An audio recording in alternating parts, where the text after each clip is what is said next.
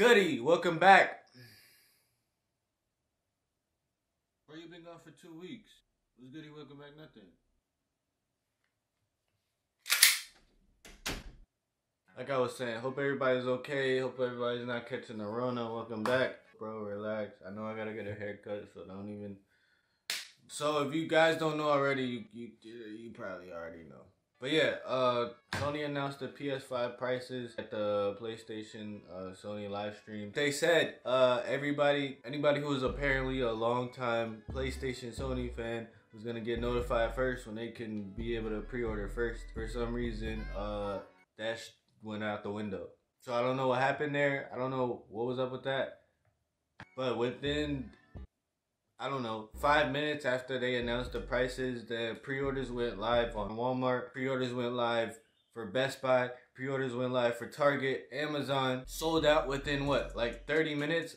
Uh, Bro, I have no idea. I was on, I was on last night all day, checking Best Buy, checking Amazon, checking Walmart, checking every single site, and no luck, bro. Matter of fact, I even had one in my cart on bestbuy.com and so when I go to check out it disappeared from my cart. It said item unavailable. The site was glitching out. Gamestop.com crashed. GameStop was uh, getting DDoS protection kicking people off the site. You couldn't get on. As you see I called my Best Buy that's up the street. And mind you this Best Buy is literally like nothing goes on there. Like it's in the middle of damn near in the middle of nowhere. Not really, but it pretty much is. I called them and I was on hold for I don't know how long. Probably gonna drive up there today and see if I can finesse anything or get a pre-order. But long story short, pre-orders are out of the water, bro. It's done. Like with PlayStation, Sony has nothing to say about this. Sony has said nothing. I don't think. Um, I don't know. Really don't know what's going on with that.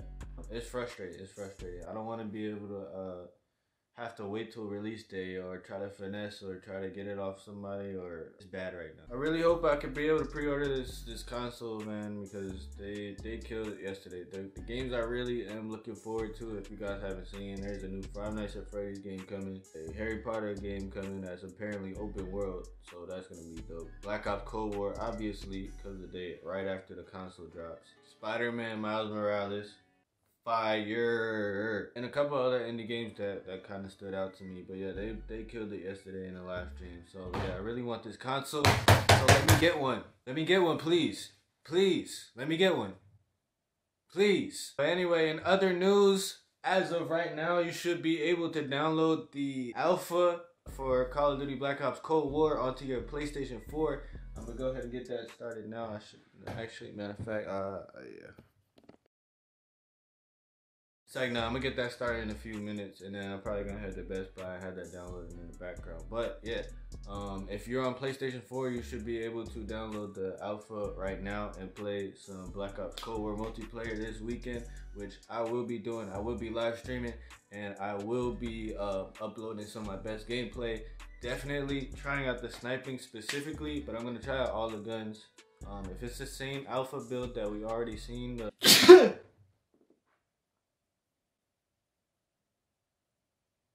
you want to play, hit me up on Twitter um, or comment your down below your your PSN because it's PlayStation only. So hit me up on Twitter or comment down below your PSN. You guys know my Twitter. That's pretty much it, guys. Uh, just want to keep you guys up to date. What's going on? Sorry, I've been gone for two weeks, but there's really nothing. Mm, content has been been dry, but I got a lot of stuff on the way. So yeah, be on the lookout this weekend. Probably tomorrow um, and Saturday, if not Saturday and Sunday for some content. But I will be live streaming as well. If you don't have the don't have PS4 or you can't play the alpha, just I mean come out and kick it, say what's up, talk to me in the chat. Let me know what's going on. Also, one more thing, Lil Durk just had his first live stream yesterday on Twitch, so go ahead and follow him on twitch.tv slash Lil Durk.